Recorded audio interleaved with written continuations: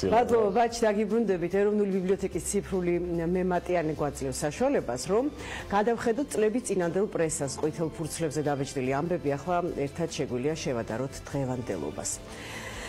ღვინის სამშობლოში თუმცა 100 წლის წინ ღვინო ფასეულია, ქართული ღვინის ფასი პირდაპირ გაგებით გაგებითაც მკვეთრად იმატებს. 1919 წელს თბილისში აპროტესტებდნენ ღვინის ფასების ზრდას. რასთან დაკავშირებითაც გაზეთი საქართველო 1919 წლის 27 თებერვლის ნომერში თავრობის აპასუხო წერილს ავრცელებს.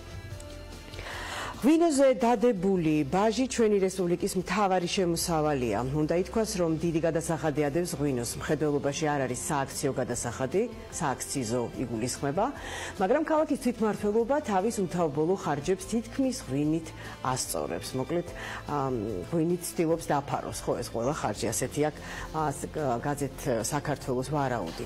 ვინაიდან საქართველოს დემოკრატიული რესპუბლიკა 1919 წელს სულ რაღაც ერთი წლის ჩამოყალიბებულია ხელისუფლება ერთად ცდილობს ხალხში სახელმწიფოებრივი აზროვნების გაღვივებას და ეროვნული იდენტობის აღდგენას. შესაბამისად, გაზეთ საქართველოს ამავე ნომერში ვაწყდებით ეროვნული დროშის რეკლამას. თიახ რეკლამას მოსახლეობას მოუწოდებენ შეიძინონ ეროვნული დროშები, თავაზობთ ციტატას. ეროვნული დროშები ორიგინალ ტარებით სახლების, მაღაზიების და დაწესებულებათა შესამკობად. მცირე დროშები ავტომობილებისთვისაც, საბავშვო სეირნობისთვისაც და სხვა. ანუ ბავშვებს რო ასეირნებდნენ, იმ დღეს შეიძლება რომ ესე იგი გავლენის ქვეშ მოქცეულიყვნენ ამ სარეკლამო განცხადების და ევლოთ დროშებით სეირნობისას.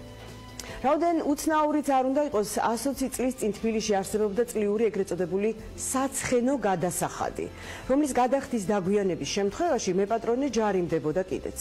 გაზეთი ცნობის ფურცელი 1899 წლის დღეის წორს აქვეყნებს ასეთი ტიპის განცხადებას თბილისის ქალაქის გამგეობა ყველა ცხენის პატრონთა საყურადღებოდ აცხადებს, რომ ამა წლის 1 მარტს ვადა გაუდის 1899 წლის საცხენოსნო გარდასახადის შეტანას ჯარიმის გადაუხდელად. მოკლედ, ვისაც უნდა უნდა და თავი აეცილებინა ჯარიმისთვის, ამ ვადებში უნდა გადაეხადა, როგორც ხვდებით. გლობალური რათფობის პირობებში დღეს ჩვენთვის უცხო არ არის კლიმატის სახეცვლილება, თუმცა მსგავსი შემთხვევები 120 წლის წინაც იჩენდა ხოლმე თურმე თავს. 1899 წლის თებერვალში თბილისში თოვს. სვანეთს კი არ ახსოვს ასეთი თბილი ზამთარი. ამავე წლის 27 თებერვლის ნომერში გაზეთი ცნობის ფურცელი წერს. ეს მესამეჯერ გვესტუმრა თოვლი თბილისში. გუშინ წინ თელი ღამე ითოვა და კარგას ქლად დაძდო თოვლი, ასე რომ მარხილებმა დაიწყეს სიარულიო. ამავე დღეს კი გაზეთი ივერია აქვეყნებს სვანეთიდან გამოგზავნილ საგაზეთო რეპორტაჟს ასეთი ტექსტით. საუცხო ზამთარი დგას ჩვენში თოვლი ნახევარ ადლს არ აღემატება და თერმომეტრი მარტო სამჯერ დაეშვა 10 გრადუსამდე.